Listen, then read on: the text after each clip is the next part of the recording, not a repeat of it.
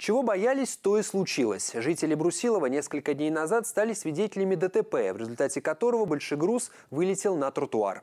Лишь по счастливой случайности под колесами грузовика не пострадали дети. Это ЧП стало жирной точкой в терпении жителей микрорайона. Наш телеканал уже рассказывал о состоянии тротуаров и организации дорожного движения на улице Оснобрюкской.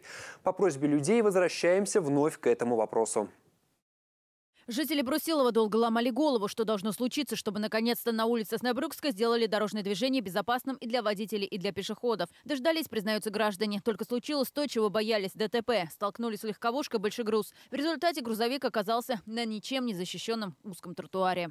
ДТП было, как раз у меня старшая дочь из школы возвращалась, поэтому я думаю, многих оно шокировало в какой-то степени, когда автомобиль тяжелый достаточно вылетел на эту пешеходную зону, и еще раз это показало несовершенство всей вот этой системы.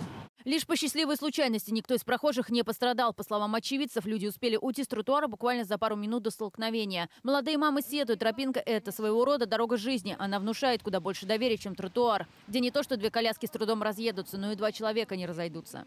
Пройти, в принципе, двум-трем людям встречно абсолютно тяжело. Приходится спускаться с тротуара. Машины проезжают так близко, что ощущение, что они сейчас тебя столкнут с этого тротуара. Приходится спускаться рядом с тротуаром, проходить по траве, по обочине. Вот тропинка уже вытоптанная. Впрочем, на этом большие проблемы маленького тротуара не заканчиваются. Местные жители, безусловно, жалуются на узкие тротуары. Но мало того, что они узкие, так они еще и начали разваливаться по кирпичикам.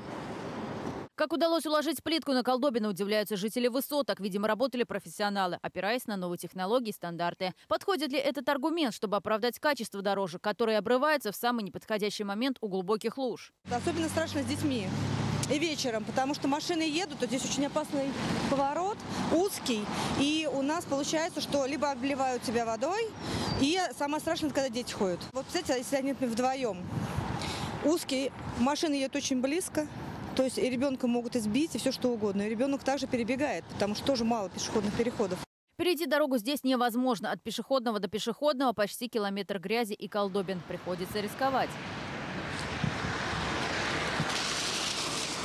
Около месяца назад наша съемочная группа выезжала на улицу Оснобрюкскую. Тогда же в администрацию города был направлен запрос. Жителей, соответственно, нашу редакцию интересовало, будет ли сделан подобающим образом тротуар и появятся ли там пешеходные переходы. Чиновники ответили так. Что касается дополнительных работ, то это возможно в перспективе при наличии финансирования и в рамках капитального ремонта, а не текущего. Такой расклад брусиловцев не удовлетворил. Отправили э, в четыре инстанции э, обращение по поводу того, что у нас такая проблема, просим как-то ее исправить, просим оборудовать тротуары, как положено по ГОСТу, чтобы было ограждение металлическое, которое препятствовало бы заезду автомобилей на тротуар, чтобы расстояние соответствовало нормам, стандартам, так, чтобы можно было проходить людям и не толкаться. По словам инициаторов, четыре обращения подписали более 200 человек. Эти бумаги были отправлены лично гражданами в городскую администрацию и в МВД России по Твери, и в УГИБДД. Наш телеканал по просьбе жителей отправил повторный запрос чиновникам. В настоящее время силами муниципального унитарного предприятия «Жилищный эксплуатационный комплекс» проводится мероприятие по устройству а, временной дорожки из асфальтового бетонного гранулята по улице Оснобрюкской. В следующем году, в 2021, планируется устройство уже полноценного пешеходного тротуара э, вдоль улицы Оснобрюкской.